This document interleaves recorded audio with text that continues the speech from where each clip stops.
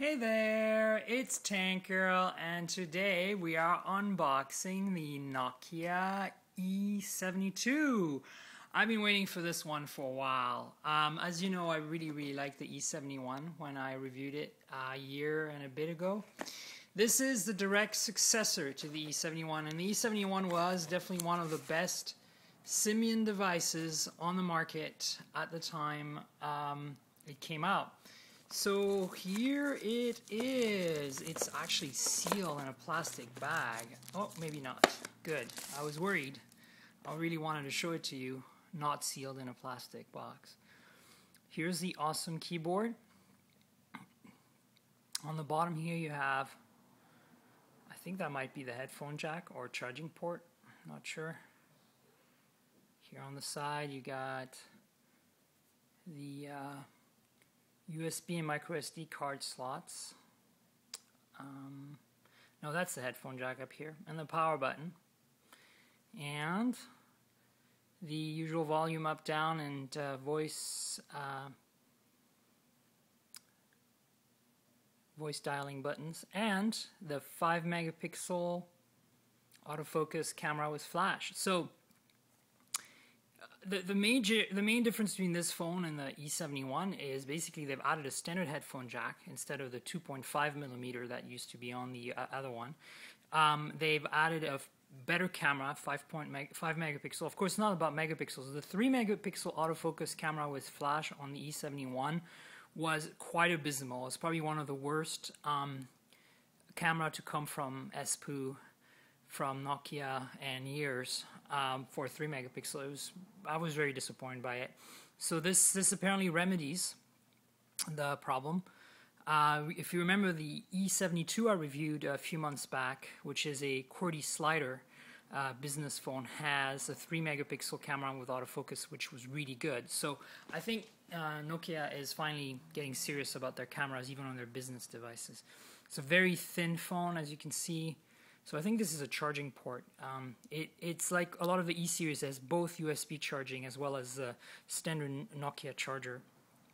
And um, you know, if you're a BlackBerry person, I, I, I have to use a BlackBerry for work. I, I don't really have to, but I do use a BlackBerry for work sometimes. And um, I have to say that I'm going to put my work SIM card, my AT&T card, in here and set up Exchange, which I can do, and take this as my everyday business phone uh, from from now on for a few weeks. And I think I'm going to be suitably impressed. I know that um, the uh, E71 was great, and I know that as you, I've, I've, reviewed a bunch of Blackberries, the Tour and the Curve, and a bunch of others, and uh, you know I always find them a little lacking. Um, by the way, here's an optical uh, trackpad um, they've added this um, on the E72. That's a new feature.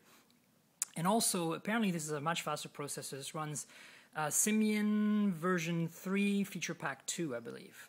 So, anyway, let's move on to the rest of the box um, since I'm rambling. Uh, maybe go under here and have a look first. Ah, nothing. Probably the manuals under there. And then let's have a look in here.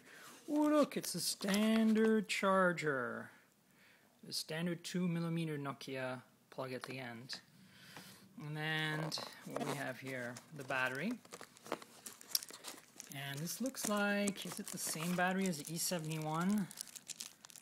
Yep, that's the giant BP4L. This is like a 1500 milliamp or something battery. This, the E71 could go for a week on standby with this battery, so I expect this to be just as good.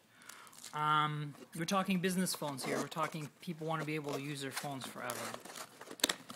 Um, what, what do I have here? All right, look at that.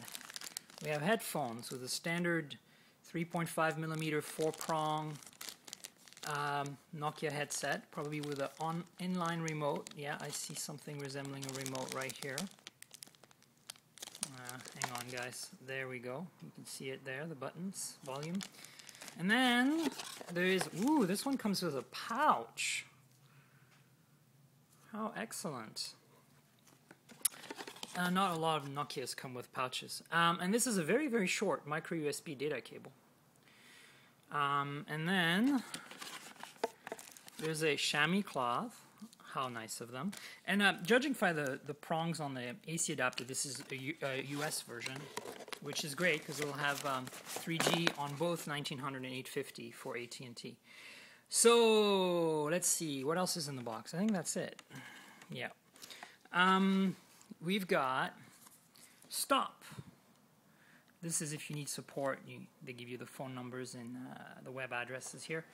There's a little Ovi flyer like there always is for Ovi navigation, which I never use because I'm a Google Map whore. Um, information about email setup on this product.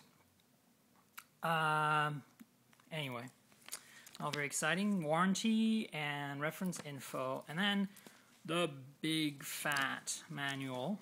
So, anyway, back to the phone a little bit. Um, so, we've got the headset and look we even have uh, little ear adapters so you can be more comfortable depending on your size ears I have very big ears if you've seen my kitty hat you know what I'm talking about um, battery AC adapter chamois cloth and we've got USB cable and we've got a case but in the manuals back there but uh, most importantly the phone and so um, yeah, you know, I I mostly use touchscreen phones these days. This obviously is not a touchscreen phone. Um, but if I'm going to use one that's not a touchscreen phone, it, it has to have an awesome QWERTY keyboard like this. So, as I said, I'm going to use this as my work phone for a while. Um, I've used my iPhone as my work phone. I've used some other N series phones as my work phones, like the E. I use the N97 Mini as my work phone as well. So, uh, and I know that that I can do it. It's just uh, can there was always some limitations because they're not business phones per se. Um, mostly because of the way my work handles Exchange server stuff. So I'm hoping that this will resolve these and, and I completely can drop the BlackBerry for a little while. Um, you know, I mean, you compare this to the, the, you can't compare this to the curve. I mean, even the E71 was blowing away the curve clearly, but this is more like the bold, right? Um, the tour comes close, but this missing Wi-Fi, which is remedied with uh, the Tour 2, as you know, called Essex.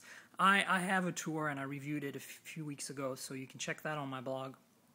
But this has everything in the kitchen sink accelerometer, GPS, 3G, Wi Fi, good camera, um, you know, standard headphone jack, um, micro SD expansion, super thin. It's really well made. It's E series, get like this laser etched back cover. I mean, you know, I'm not generally a big business phone person, but if I'm going to have to have a business phone, this would be the one. And, and honestly, if this works out for me, I might drop my BlackBerry and, and use one of these and buy one um, to use as my uh, as my work phone from from here on. So this is how serious uh, this is, and when it was announced, I was really excited because of it. Um, so, blah blah blah. I should uh, wrap this up. I expect an unboxing, hopefully, next couple days on my blog, and for pictures and uh, first impressions, camera review, all that stuff that I usually do in the next few weeks. Um, this is Tank Girl. My blog is Tank Girl Mobile, tnkgrl.wordpress.com. Uh, check it out. I've got a whole bunch of reviews of units uh, like this one and, and others as well. And uh, yeah, that's about it. Cheers.